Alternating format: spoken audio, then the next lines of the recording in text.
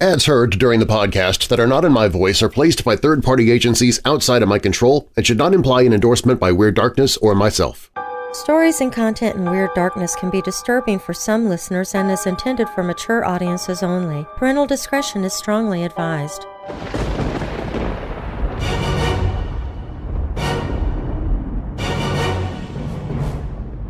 Welcome, Weirdos! I'm Darren Marlar, and this is Weird Darkness. Here you'll find stories of the paranormal, supernatural, legends, lore, the strange and bizarre, crime, conspiracy, mysterious, macabre, unsolved, and unexplained. If you're new here, welcome to the show. While you're listening, be sure to check out WeirdDarkness.com for merchandise, to visit sponsors you hear about during the show, sign up for my newsletter, enter contests, connect with me on social media, hear other podcasts that I host, listen to free audiobooks I've narrated. Plus, you can visit the Hope in the Darkness page if you're struggling with depression, dark thoughts, or addiction. You can find all of that and more at WeirdDarkness.com. Now bolt your doors, lock your windows, turn off your lights, and come with me into the Weird Darkness.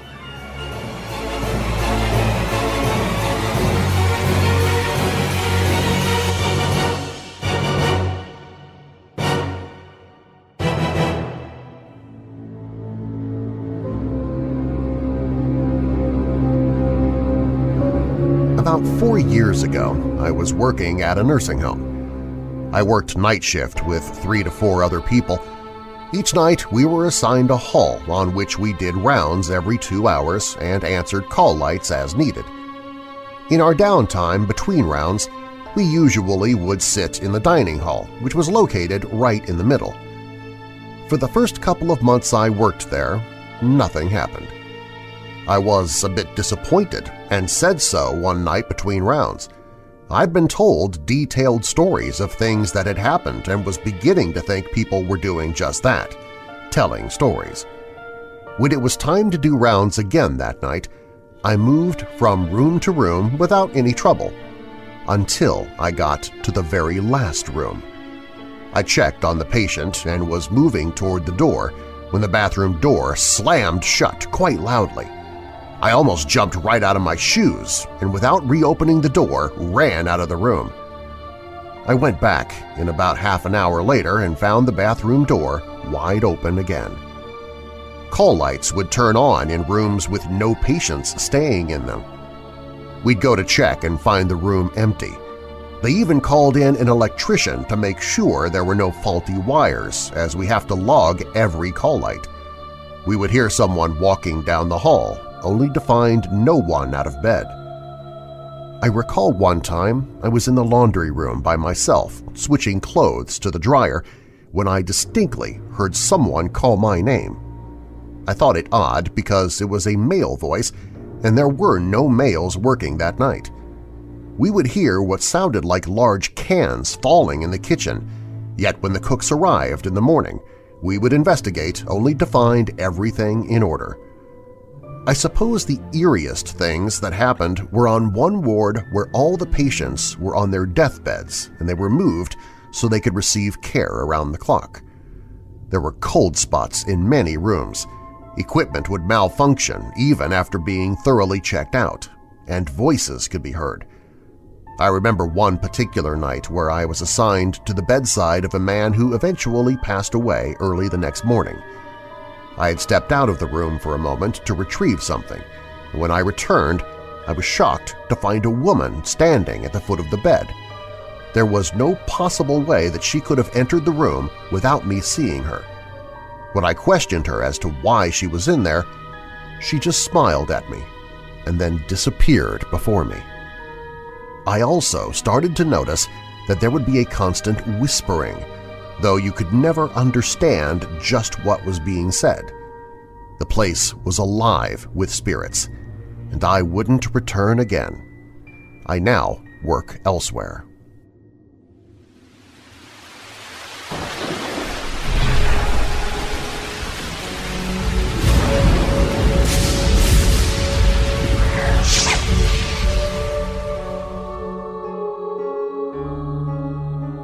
Five years ago, I purchased a couple of 18th century houses built next to each other and surrounded by a lovely, mature garden. The houses are on the outskirts of a picturesque village called St. Dizier-Leyrenne, which is located in the Limousin region of France. I purchased the houses with the intention of letting out as rural holiday homes, and this is exactly what I have done. Soon after making my purchase, I spent some considerable time over one summer renovating both the properties, and it is during this time that I first had a rather strange thing happen. Whilst fitting a new window overlooking the garden, I noticed a man in overalls and a straw hat. He was apparently tending to the flowers and shrubs. Being intrigued, I promptly decided to go outside in order to ask what he was doing in my garden. But by the time I made my way through the cottage to the door, I could not see him anymore. I then walked around the perimeter of my garden, but there was nobody there. I did not think too much of this and put the experience down to the possibility of a trick of the light and the fact that I was quite fatigued working for many weeks without much rest. Some more weeks passed, and I needed the help of a local tradesman. A friend gave me the telephone number of a tradesman she had recently hired and could recommend him for doing a good job so I telephoned him and arranged for him to call round on a Tuesday morning. I woke up on the arranged date to the sound of songbirds in the garden, just as many other mornings. I looked out of one of the newly installed windows, but this time I saw what looked like a man in overalls and a straw hat again. I was not sure if this could be the tradesman or not, so I opened the window and called out to him, but with no success. He did not respond to me. I then went to my door and opened it, but yet again he had disappeared. I began to remember the similarity to the previous sighting of the man in the garden, and just at that moment my telephone rang. It was the tradesman calling to say he would be arriving soon. So I then realized the man I saw in the garden could not have been him. At this point I was feeling a little hungry and decided to pop out to the local bakery to get a baguette. I was only gone for maybe 10 minutes and on my return resumed my work for the morning, anticipating the arrival of the tradesman, but my midday had not turned up. The rest of the day went well, and I finished my work, but still the tradesman had not turned up, so I decided to call him and ask why. When he answered the telephone, he sounded a little confused. He said that he had called round and spoken to me in the garden, I replied no way, I was at home all day, other than for briefly going out to the bakery at 10 a.m. He then promptly replied that he had definitely spoken to me at approximately 10 a.m. in my garden. This left me very puzzled, and because we had never met before, I asked him to describe who he had spoken to. He then went on to describe a man in overalls and a straw hat tending to the garden. At this point, I got a shiver down my spine. I asked, did he speak to this man? He said yes. The man in overalls and hat said he was the owner of the property and did not require the services of a tradesman. This left me a little distressed and rather concerned as to what was going on. I asked the tradesman to come around the next day in order to get to the bottom of all this. Next day, the tradesman did indeed arrive, and when I greeted him, he was rather shocked and said to me, you are not the man I spoke to yesterday. I replied to him, obviously not, and informed him that I was the owner of the properties and that I had previously sighted the figure of a man in overalls and straw hat in my garden. Both I and the tradesman shrugged our shoulders and did not know what to make of it all. Nevertheless, I hired the tradesman to help install a modern bathroom in one of my cottages. We worked well together and struck up a friendship. After working together for a few days, we had to move an old box out of the attic in the cottage. We noticed it had some contents, so we looked inside. Amongst various articles, we spotted an old straw hat and a sepia photo of the man we had both seen. On the reverse of the photo, there was an inscription stating a date, 1899. We both then realized we had seen a ghost in my garden. It was a chilling feeling, but also a realization that we had solved the mystery. The man had obviously been a previous owner of the properties. Eventually, all of the renovations had been completed. I began to successfully let out the houses as holiday accommodation. But to my surprise, more than one or two of my guests have asked about the mysterious gardener, the man in overalls and straw hat tending to the garden.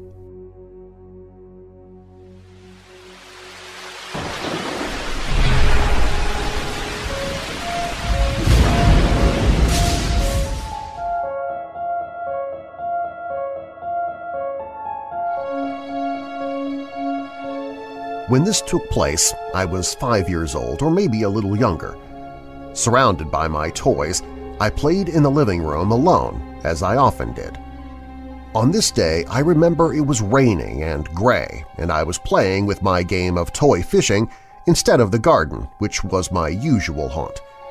It was a simple toy which included a circular dish which would be filled with plastic fish and tiny fishing rods with magnets attached to the end. The aim was simply to catch a fish with the magnet on the rod.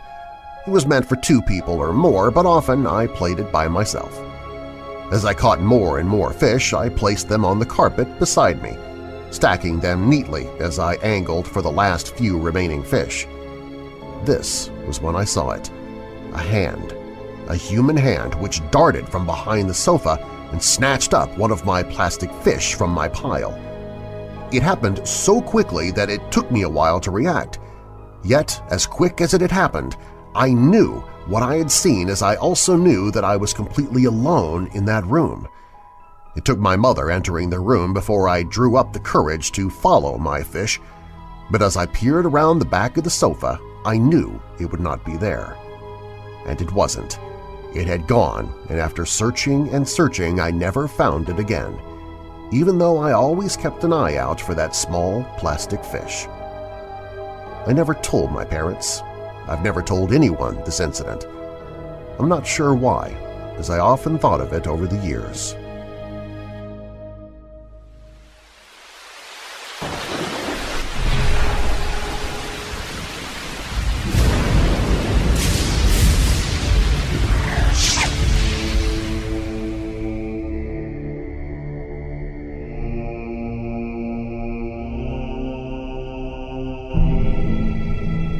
For a development company that had purchased an entire neighborhood of Victorian homes to renovate and resell. Every home for a two-block radius was empty, except for the one that I lived in, which was near completion and was going to be used as the model home. One afternoon, I was almost out of cigarettes and decided to walk to a corner store a few blocks away.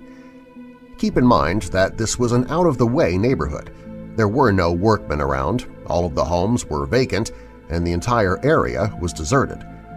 I had only walked about one block and was looking down at the sidewalk lost in thought when a few feet ahead of me I heard a voice say, "'Excuse me, but may I have a cigarette?'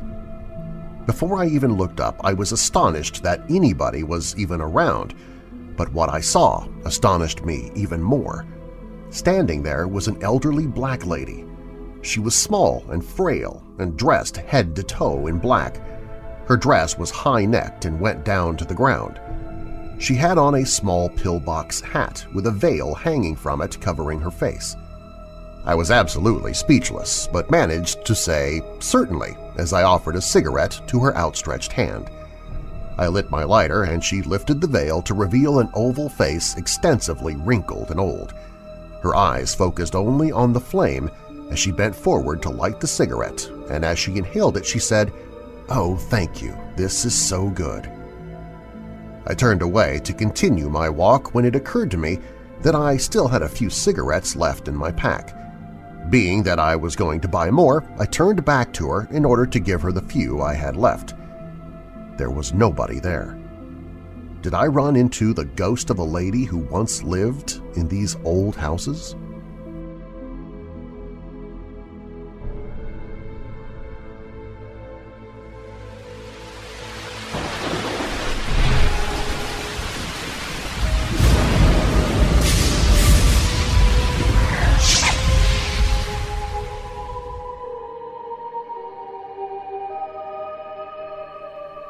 This story takes place in Manchester, United Kingdom.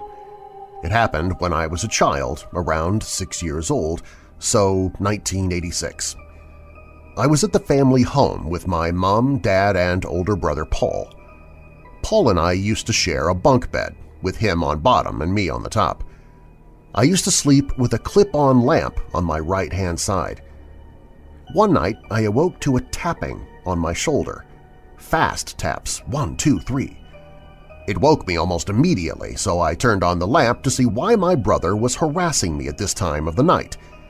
When I looked down, he was asleep. Or pretending, I thought. Growing up, we were always playing pranks on each other.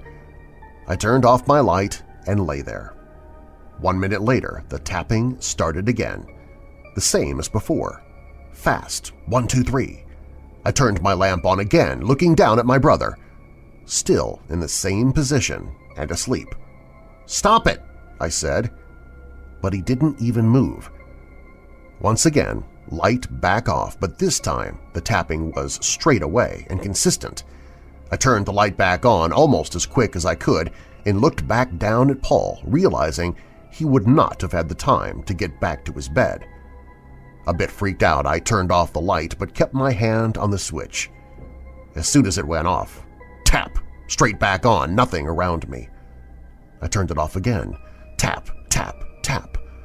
This time I turned the light back on to see nothing, and I leaped clean off the bunk and dashed down the hall to my mom and dad's room, where I spent the rest of the night.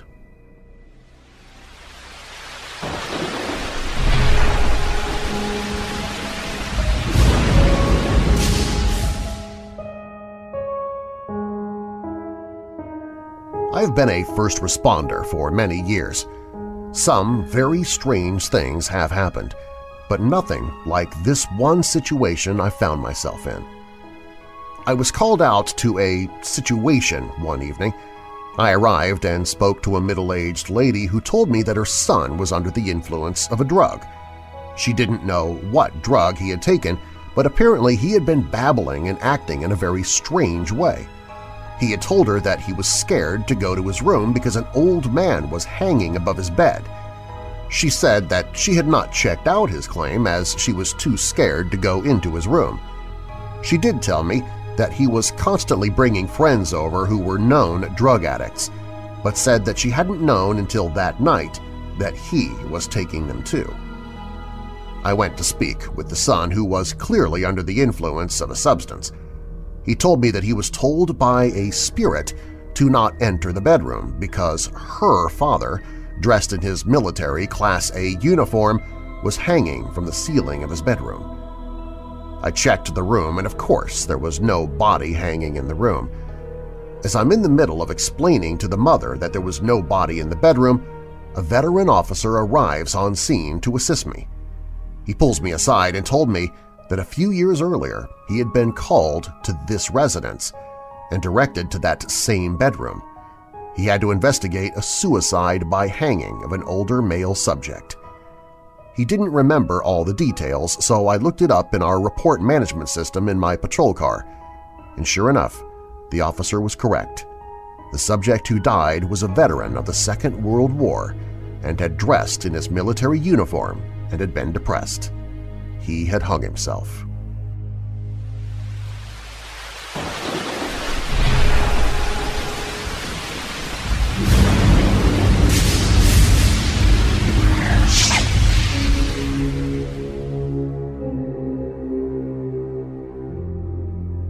When I was seven years old, I used to be scared of going into my school bathroom alone. This is because every time I was in there by myself, I would see a young girl standing in the shower. She wore a gray school skirt, long white socks, black shoes, white polo shirt, and a jumper. I tried ignoring her for about half a year as I thought I was going mad because nobody else saw it, but she never moved. I spoke to my mom about it. I was so scared even though the young girl hadn't moved, and my mom told me to talk to the ghost. I did talk to her, and I asked her to leave me alone, but she did nothing. I saw her constantly throughout my time at that school. A few years later, I then found out that a girl had passed away at my school. I'm not too sure how, all I could find out is that her first name was Ria. I continued seeing her until I left that school, and there was nothing I could do about it. I am now really interested in the paranormal, even though it still does scare me to think about it.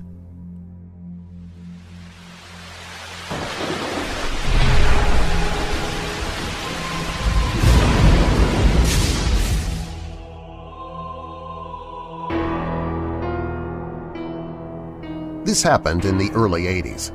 I was getting married for the first time.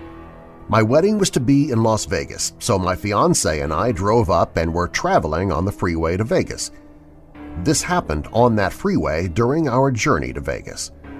We were coasting along talking about the wedding when we both noticed something white start to cross the freeway in front of us.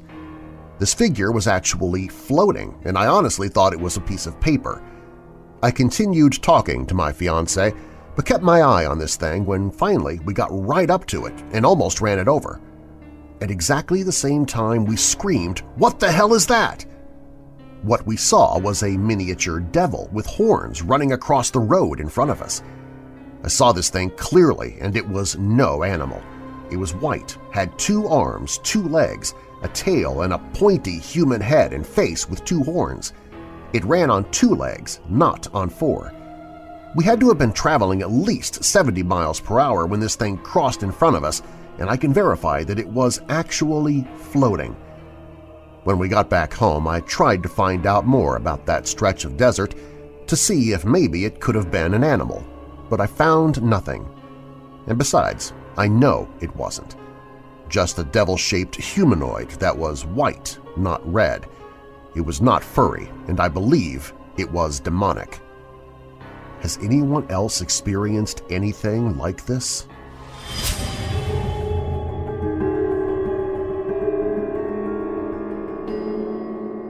Weird Darkness continues in just a moment.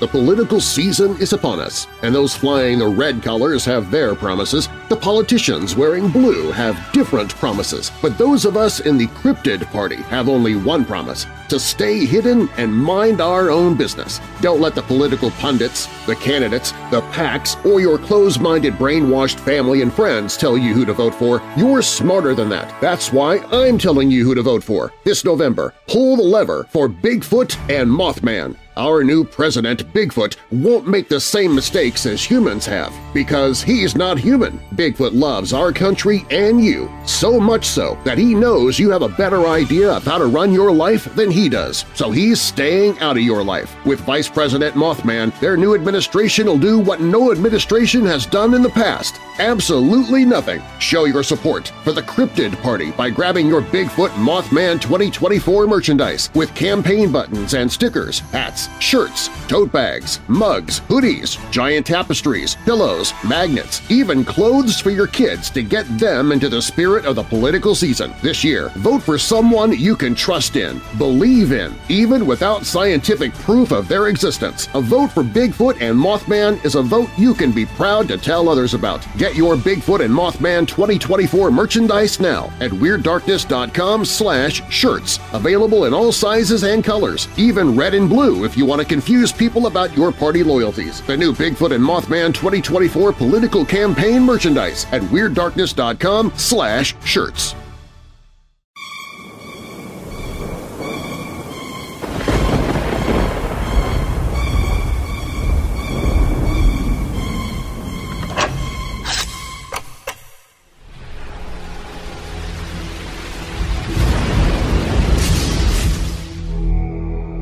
Swear this house is alive and trying to kill me. You might call me mad, but there is something evil here that is after me. I tell you it's the truth. I rented this secluded Victorian house a few days ago. I being a writer of sorts. Most of you only know me by my many stories that appear in the so-called pulps, as many have branded them. I get paid a meager wage to churn out stories about the unusual and bizarre. I never thought I would be living it, though. The sheer terror that grips my every moment is beyond anything I have ever witnessed or written about. I was feeling that I needed a change from my current city dwellings. Living in a small, cramped apartment in the bustling city is no fun indeed, especially as it is such a stifling summer and the heat is so unbearable. I decided to check the local listings for a summer rental. I had managed to save some money back from my meager earnings over the course of the last two years. I also have a small inheritance set aside. I quickly found a listing for a Victorian house that had been built in the 1850s. I was so excited to see it, I promptly phoned the property owner. I was so entranced with the place as soon as we pulled up to it. I stepped out of the taxi, telling the driver to please wait for a moment, then I saw the owner on the front porch. It was a magnificent structure. Three stories with a massive turret room on one side. It was built upon a small hill, a really imposing house of character. I was instantly seized with a rush of adrenaline. This is a house where I could write a masterpiece, I said to myself. I approached the steps and started up them as the owner spoke to me. Mr. Woodcraft, I presume? Yes, I'm Vincent Phillips Woodcraft, and you are Mr. Smith, the owner. Correction, good sir. I represent the owners, said Mr. Smith in his slightly clipped northeastern accent.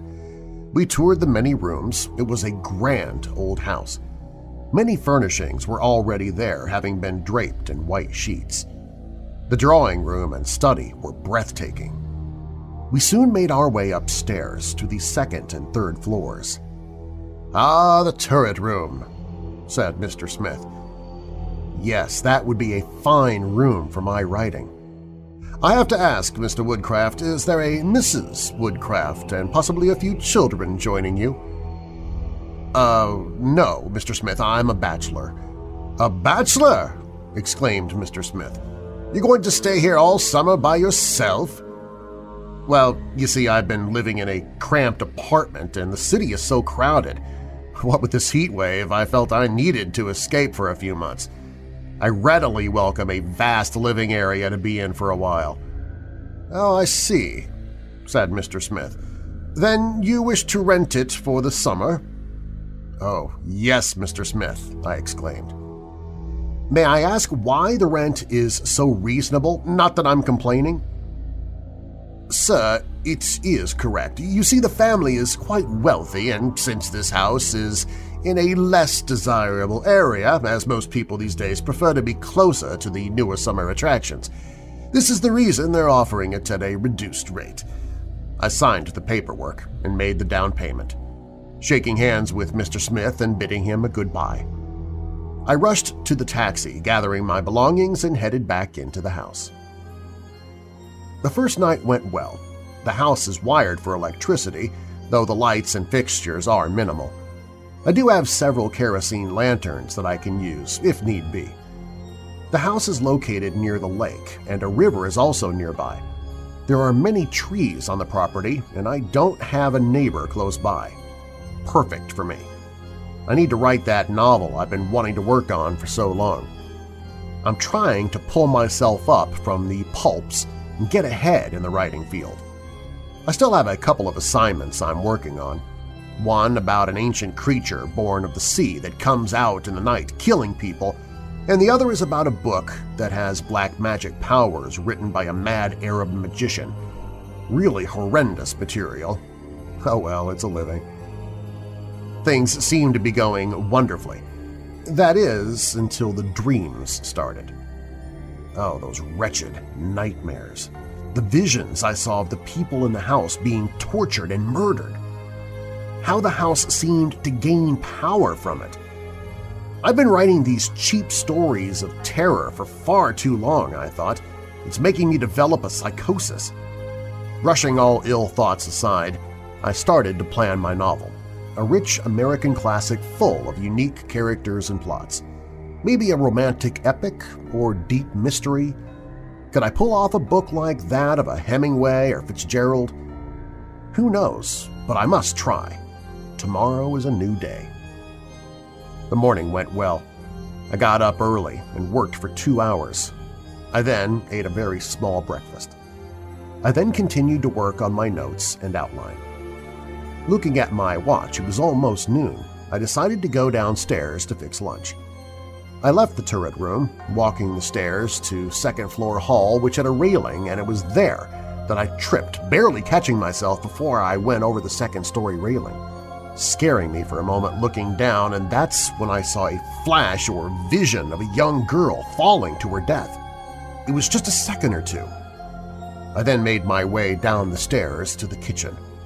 Later that evening I was in the study, examining some of the great volumes on the shelves when I heard a loud scratching noise in the walls.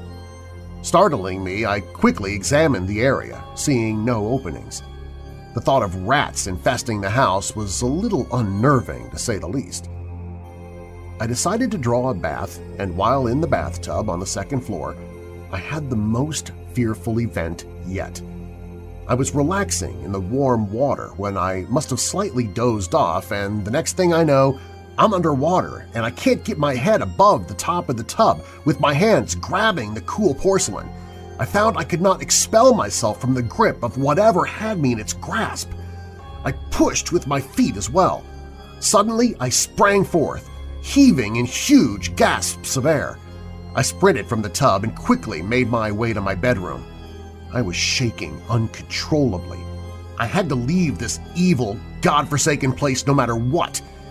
It being night and I had no phone to call anyone, I eventually calmed myself enough to take a nap. I slept peacefully for a while, but then the horrible dreams started. Those peculiar, grotesque nightmares of an antiquated time and place, ancient beings chanting loudly. Soon I saw myself tied to an altar in some secret chamber. I tried furiously to free myself from my bonds but to no avail, and then suddenly, without warning, the thrust of a dagger in my side. Feeling the excruciating pain, I awakened screaming as I bolted from bed. Wide awake and still feeling the grip of fear, I gathered my clothes and dressing as fast as possible. I ran along the hallway to the stairs, and I was tripped, but this time it was far worse. I tumbled, smacking my leg on a step, and then I heard the unnerving noise of a snapping bone in my left wrist. The pain was unbearable. I came to rest finally at the bottom of the stairway. I had no way to get help, and it was difficult to move. I think my back was also broken, or at least out of place. Here I lie, hopeless in the darkness of this beast of a house, with many thoughts rushing through my mind. The one thought was how I was going to get out of this ordeal alive. That was the one burning question I clung to in the still of the lurking evil.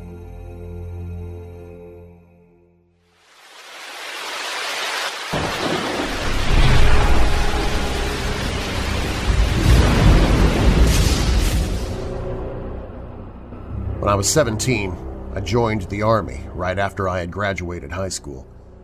It was something I had planned to do, as I knew I wasn't a good student and college was not the place for me. After three days of basic training, Iraq had invaded Kuwait. Training was instantly accelerated. Upon completion of training, I was assigned to my duty station and unit. It was there where I met Brian. He was my roommate in the barracks. He was a wiry kid, same age as me, he was from the Quad Cities, Iowa area. I was from Chicago. We got along great. This would be essential later in our military experience.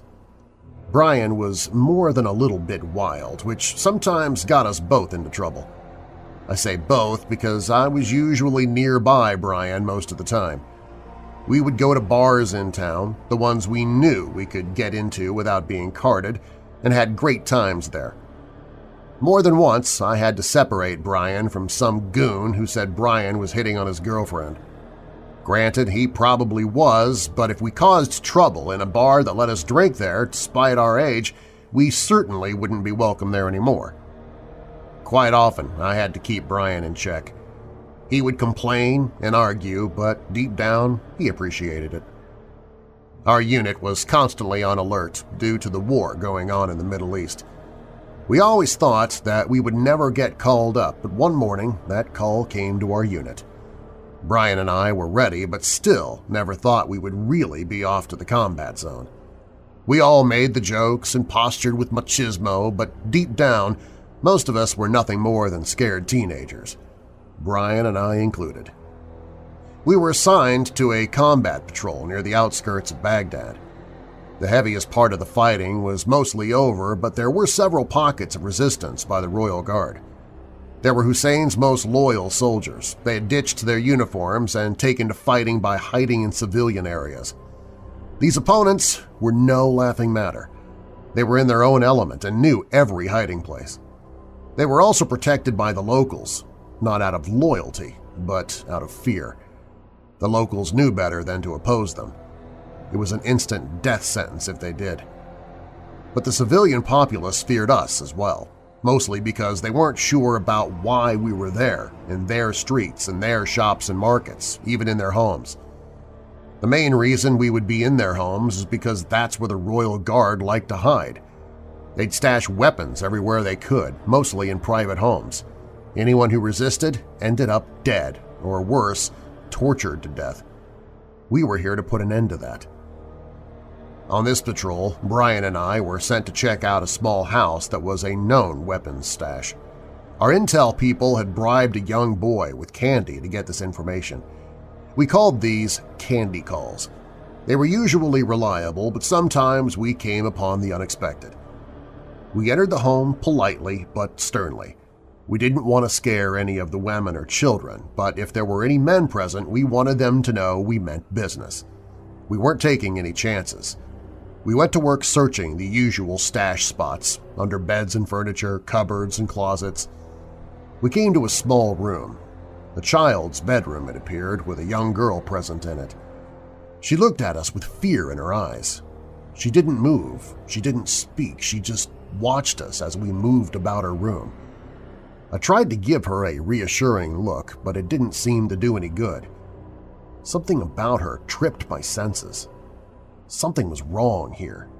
She was even more nervous than most of the civilians we'd encountered. Her nervousness made me nervous. We knew better than to trust anybody here, but a little girl? How was she going to hurt us? Brian was moving toward the closet door at the back of the room as I was keeping an eye on the little girl.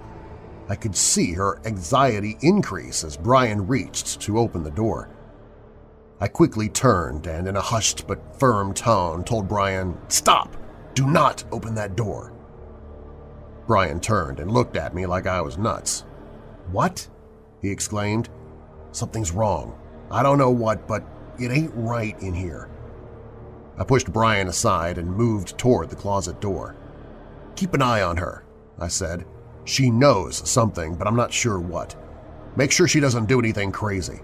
We're not going home in bags because of some little girl, I hissed as I examined the door. There was really nothing unusual about it. I looked around the knob and the frame. Nothing. Then I caught a small glint near the latch. There it was, a small, thin wire. I knew exactly what it was right away. The slightest tug on that door, the whole room and everyone in it would be blown to bits. That's when I realized why that little girl was in there. They were trying to throw us off by using her as a shield. The Americans won't harm a child, they thought. They could hide their weapons under a child. I couldn't believe it. Brian breathed a sigh of pure relief when I pointed the tiny wire out to him. Damn, brother! I owe you my life. If I opened that door, kaboom! That would have been the end of both of us. I just smiled and said, I've got you, brother. I've always got you. Yeah, Brian said with disbelief. You always have. Thanks, man. We reported our findings and went about the rest of the day. We got the word from the ordnance crew, who went in to defuse our find as to what exactly was behind that door. It was an entry to a secret passage. On the door, connected to that tiny wire, they found enough explosives to stop a tank. Inside were tons of weapons, ammo, and more explosives. Ordnance took all the credit, but Brian and I were proud of ourselves. We finished out our tour without any major instances. We were going home and glad of it. Before we took off, Brian thanked me again for not letting him open that door. Don't sweat it, I said, as we hopped aboard the plane and headed back for the States. Back at our stateside duty station, Brian and I tore it up in town. We were back, we were alive, and we wanted to celebrate. We went directly to the bar we usually hung out in. There was always a good time there. The waitress knew us and were glad to see us. They took good care of us. They were nice girls. Back at our post, Brian and I finished our enlistments. I got out before Brian due to some extra duty time he had incurred involving an officer that couldn't stop in time before it went south. That, however, is a story for another time. I told Brian to look me up when he got home. It would only be a few months before he was out. He called me when he got back to Iowa. We talked and laughed about our times in the Army. Brian reminded me that he still owed me his life. I said, don't be foolish. We got out of there. We're both alive. It's over. He wouldn't relent, so I let him have his way. Life went on from there. I didn't really see or hear from Brian much as the years went on. We both had our own lives to live. I got into welding and eventually got hired as a shop foreman. The last I knew about Brian, he was selling vacuum cleaners back in Iowa. Being the foreman, I was responsible for the material purchases for the shop. Welding supplies, metals, gases were all part of my duties. I got a page over the shop intercom from the receptionist up front. There was a call for me. She said it was a salesman from a welding supply company. I answered the call. "'Hey,' the man said, I'd like to talk to you about your welding supply needs. Can I stop by your shop to get a feel of what you might need and what I can do for you?' "'Sure,' I said, trying to get this guy off the phone. I was busy and needed to get back to work. The next day I got another page from the office. I picked up the phone and asked the receptionist what was up. "'Your welding supply guy is here,' she said. I went to the office to meet this guy. I was kind of pissed off as I wasn't expecting him and there was a lot to do in the shop. His back was to me as I walked into the office. He was flirting with our receptionist, what can I do for you? I growled at him. As he turned to face me, a wave of shock came over me. It was Brian. It had been over ten years since I had seen him. Brian! I shouted as he reached to shake my hand. You're still a crabby old bastard, aren't you? He said. What are you doing here? I asked. Selling welding supplies. What does it look like? he replied. I took him out and showed him around the shop. He asked if I had time for lunch. I lied and said I did. The hell with the shop. It'd be there when I got back. We caught up with each other's lives and talked for quite some time. Brian was surprised to hear that I was married and had a young son already. How old is he? Brian inquired. Six, I said with a chest full of pride. He's the greatest thing in my life. Brian informed me that he was doing well despite a few failed relationships with girls he had met in Iowa. I could tell he was lying. He was sad things weren't going as well for him.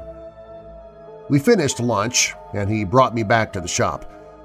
Before I went back in, we shook hands, and again he reminded me that he still owed me for what happened in Iraq. I smiled back and told him, At this point in my life, I hope you don't get the chance. We're even. Don't sweat it. All right, he said as he smiled and got back into his car. I couldn't convince my boss to take Brian up on the price quote he offered. Our present supplier was a schmoozer who took the boss to golf outings and elaborate dinners. Brian just couldn't compete with that. It's just the way it was going to be.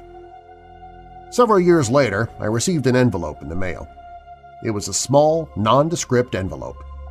Inside was a newspaper story and a clipping from the obituary page. Nothing else, no note, no letter, just the article and the clipping. It was Brian's. He was killed in an accident back in Iowa. He had stopped on the side of the road to help someone with a flat tire. Apparently, he was returning to his car when a truck driver ran off the road and onto the shoulder where Brian was walking. He was killed instantly. I called the funeral home that was listed at the bottom of the clipping. I was informed that the obituary I received was more than three months old. Brian had been interred already. I missed it. I asked the man from the funeral home if he knew where Brian was buried. He gave me the name of the cemetery but told me he wasn't sure where it was. I drove out as soon as I had a chance.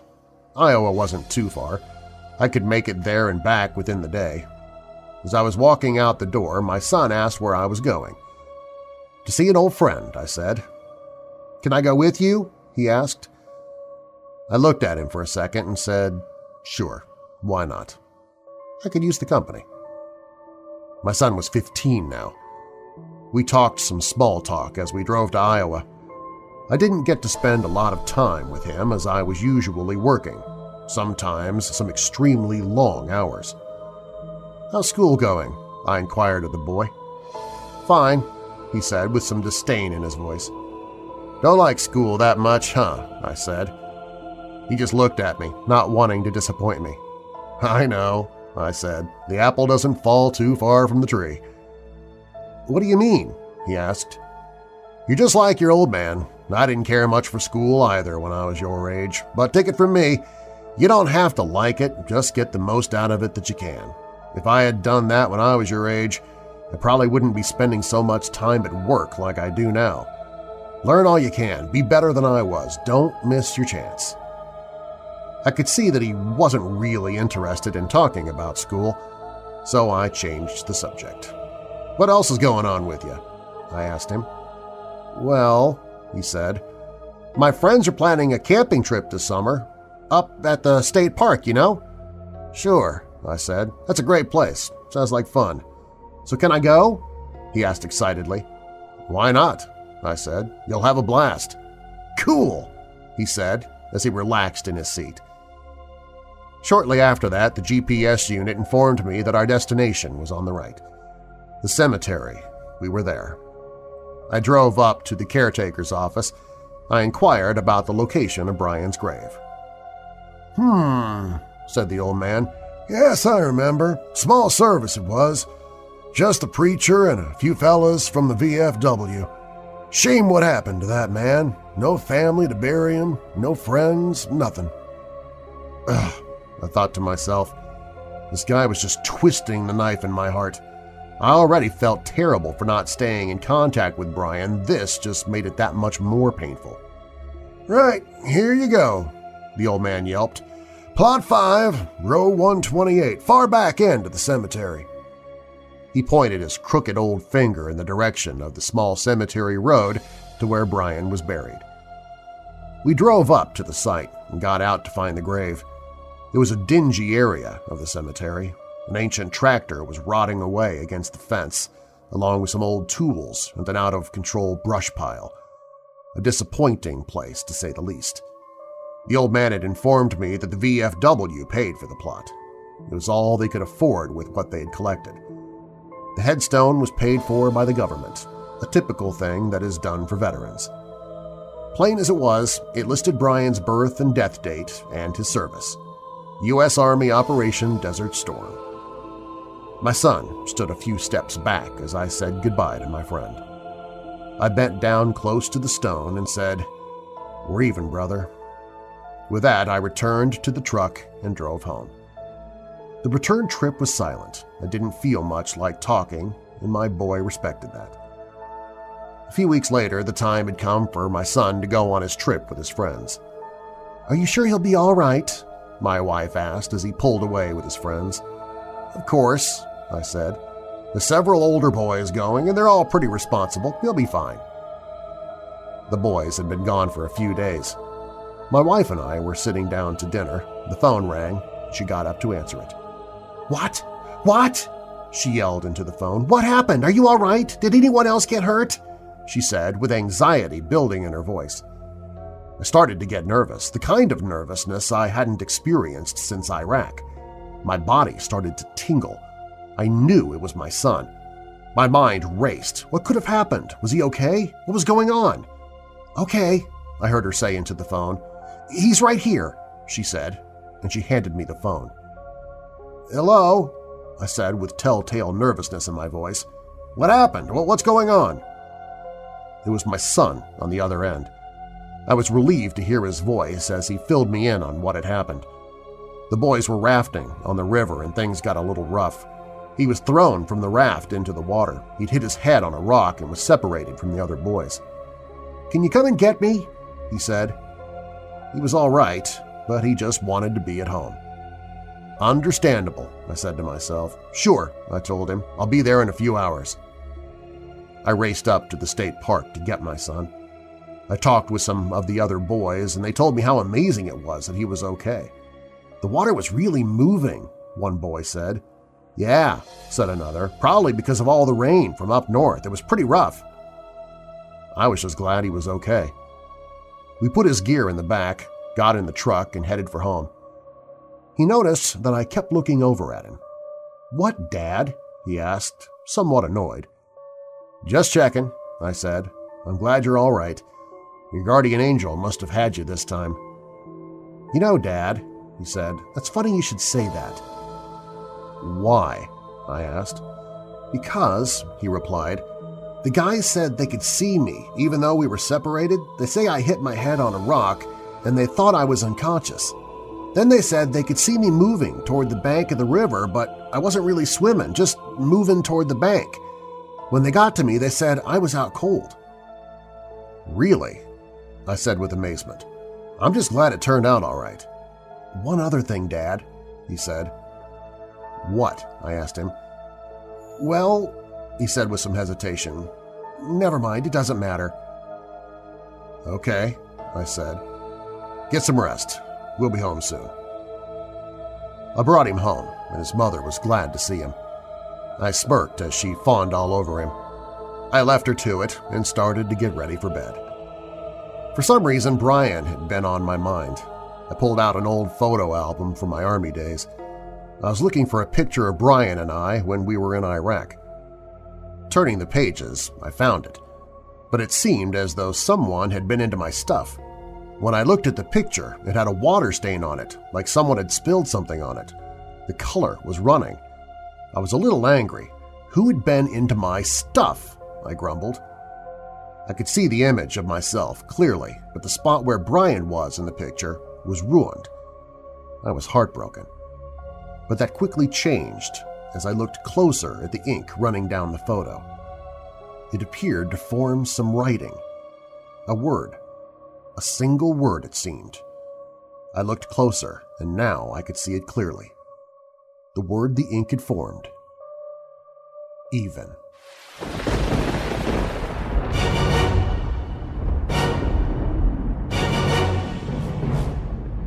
Thanks for listening. If you like what you heard, be sure to subscribe so you don't miss future episodes. All stories used in Weird Darkness are purported to be true unless stated otherwise, and you can find links to the authors, stories, and sources I used in the episode description, as well as on the website at WeirdDarkness.com. If you like the show, please share it with someone you know who loves the paranormal or strange stories, true crime, monsters, or unsolved mysteries like you do. You can email me and follow me on social media through the Weird Darkness website. WeirdDarkness.com is also where you can find information on sponsors you heard during the show, listen to free audiobooks I've narrated, get the email newsletter, find other podcasts that I host. You can visit the store for creepy and cool Weird Darkness merchandise. Plus, it's where you can find the Hope in the Darkness page if you or someone you know is struggling with depression, addiction, or thoughts of harming yourself or others. And if you have a true paranormal or creepy tale to tell of your own, you can click on Tell Your Story. You can find all of that and more at WeirdDarkness.com. Weird Darkness is a registered trademark. I'm Darren Marlar. Thanks for joining me in the Weird Darkness.